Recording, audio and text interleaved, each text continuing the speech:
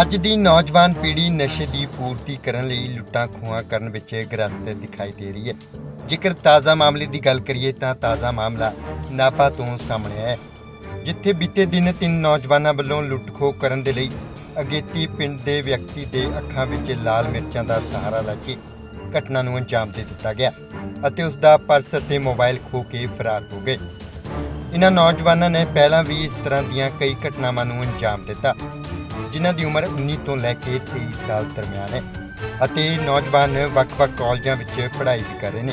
ਇਹਨਾਂ ਨੌਜਵਾਨਾਂ ਦੀ ਗ੍ਰਿਫਤਾਰੀ ਦੇ ਲਈ ਨਾਭਾ ਦੇ ਡੀਐਸਪੀ ਵਰਿੰਦਰਜੀਤ ਸਿੰਘ ਵੱਲੋਂ ਜਾਣਕਾਰੀ ਦਿੱਤੀ ਗਈ ਹੈ। ਇਹ ਜੀ ਤਿੰਨ ਮੁੰਡੇ ਆ ਜਿਹੜੇ ਸਟੂਡੈਂਟਸ ਹੈ ਇਹਨਾਂ ਦੇ ਵਿੱਚ ਦੋ ਤਾਂ ਸਟੂਡੈਂਟ ਹੈ ਆਸਰਾ ਕਾਲਜ ਦੇ। ਤੇ ਇੱਕ ਪਹਿਲਾਂ ਆਸਰਾ ਕਾਲਜ ਦੇ ਵਿੱਚੋਂ ਮੁੰਡਾ ਹੈਗਾ ਜਿਹੜਾ ਉਹ BCA ਉਹਨੇ ਕੰਪਲੀਟ ਕੀਤੀ ਹੈ। ਤੇ ਇਹਨਾਂ ਦਾ ਜਸ ਇਹ ਮੋਟਰਸਾਈਕਲ ਤੇ ਵਾਰਦਾਤ ਨੂੰ ਅੰਜਾਮ ਦਿੰਦੇ ਸੀ। ਤੇ ਸਨੈਚਿੰਗ ਵਗੈਰਾ ਕਰਦੇ ਸੀਗੇ ਅੱਖਾਂ 'ਚ ਮਿਰਚਾਂ ਪਾ ਕੇ ਬੇਸਿਕਲੀ ਇਹ ਖੋਹ ਕਰਦੇ ਸੀਗੇ ਪੈਸੇ ਵਗੈਰਾ ਦੀ। ਮੋਟਿਵ ਤਾਂ ਜੀ ਇਹਨਾਂ ਦਾ ਇਹੀ ਸੀਗਾ ਨਸ਼ਾ ਤੇ ਜਾਂ ਜੋ ਆਪ ਜਿਹੜੀ ਮਾੜਾ ਮੋਟਾ ਇਹਨਾਂ ਦਾ ਆਪਦਾ ਰਹਿਣ ਸਹਿਣ ਤੇ ਜਿਹੜਾ ਖਰਚ।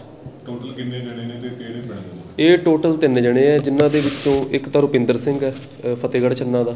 ਇੱਕ ਮੁੰਡਾ ਸੁਖਮਨ ਹੈ ਫੰਮਣਵਾਲ ਦਾ ਥਾਣਾ ਭਵਾਨੀਗੜ੍ਹ ਤੇ ਇੱਕ ਗਗਨਦੀਪ ਹੈ ਬਮਾਲ ਪਿੰਡ ਦਾ ਧੂਰੀ ਥਾਣੇ 'ਚ। ਕਿੰਨੇ ਪਰਚੇ ਪਹਿਲਾਂ ਇਹਨੇ ਆਲਰੇਡੀ ਇਹਨਾਂ ਦੇ ਸੁਖਮਨ ਦੇ ਤਾਂ ਹੈਗੇ ਐਕਸਾਈਜ਼ ਦੇ ਤੇ ਬਾਕੀ ਦੋਵਾਂ ਦਾ ਤਾਂ ਹਲੇ ਅਸੀਂ ਇਨਵੈਸਟੀਗੇਸ਼ਨ ਕਰਾਂਗੇ ਹਾਲੇ ਤੱਕ ਤਾਂ ਨਹੀਂ ਕੋਈ ਆਇਆ ਹੈਗਾ।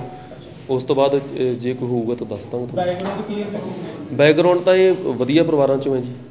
ਠੀਕ ਮਤਲਬ ਅੱਛੇ ਪਰਿਵਾਰਾਂ ਚੋਂ ਹੈ। ਇਹ ਨਸ਼ੇ ਦੀ ਪੂਰਤੀ ਲਈ ਇਸ ਤਰ੍ਹਾਂ ਦੇ ਕੰਮ? ਨਸ਼ੇ ਦੀ ਪੂਰਤੀ ਵਾਸਤੇ ਇਸ ਤਰ੍ਹਾਂ ਦੇ ਕੰਮ ਕਰਦੇ ਸੀ। ਜੀ ਹੁਣ ਕੀ ਗੱਲ? ਉਮਰ ਕਿੰਨੀ ਕਾ ਜੀ ਇਹਨਾਂ ਦੀ?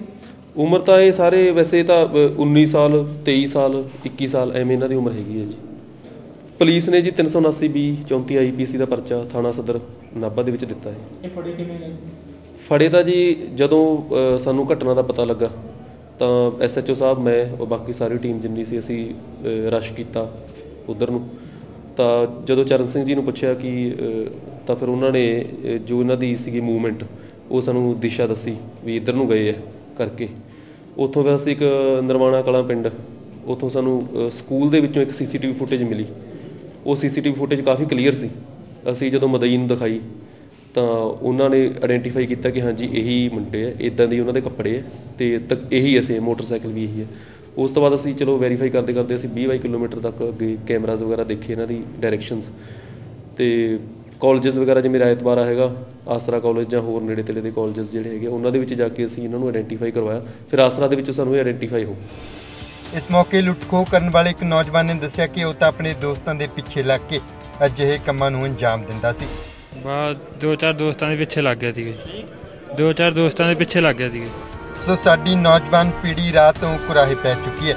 ਪਰ ਇਸ ਦੇ ਬਾਵਜੂਦ ਵੀ ਸਰਕਾਰਾਂ ਵੱਲੋਂ ਇਹਨਾਂ ਨੌਜਵਾਨਾਂ ਨੂੰ ਰਾਹ ਤੇ ਲਿਆਉਣ ਲਈ ਕੋਈ ਵੀ ਉਪਰਾਲੇ ਨਹੀਂ ਕੀਤੇ ਜਿਸ ਕਰਕੇ ਖੁਸ਼ਹਾਲ ਪੰਜਾਬ ਦਾ ਬੇੜਾ ਵੀ ਦਿਨ ਪ੍ਰਤੀ ਦਿਨ ਗਰਕਦਾ ਜਾ ਰਿਹਾ ਹੈ। ਨਾਭਾ ਤੋਂ ਸੁਖਚੈਨ ਸਿੰਘ, ਪੰਜਾਬ ਚੈਨਲ।